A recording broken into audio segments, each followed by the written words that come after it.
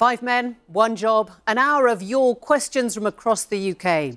How they answer tonight will help decide who becomes our next Prime Minister.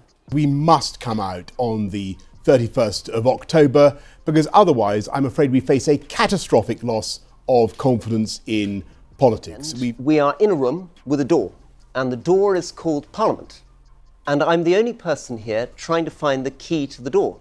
Everybody else is staring at the wall, shouting, Believe in Britain.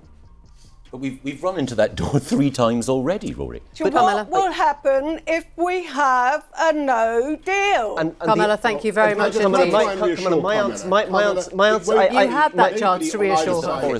If we got to October the 31st and we were so close to getting that deal over the line, would you at that point say, Michael, we're really, I, we're almost there. I, well, I, I, want to rip I, it share, I share, I, I share. Guarantee. October the 31st is eminently feasible. No, no, so, you're, you're right. Saj is absolutely right. Let me answer Carmela's question because uh, your husband's in the property business, so he will know that the only way you get deals. Mr. Johnson, do you accept that words have consequences? You are frequently careless with your language. Do you worry that you may do more harm than good? I, am going to raise the I, issue of Nazanin Zaghari Ratcliffe. well, actually, in that case, it didn't I, I think make any difference. But do, do, you all agree, guys? Should we should we have an external investigation of the Conservative Party into Islamophobia?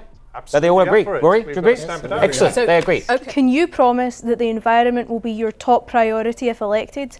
Absolutely want to put climate and the environment at the heart of everything I, we do. I praise those people, even though I think folks should be in school. Praise those people who went on the climate strike. Aaron, who's impressed you the most?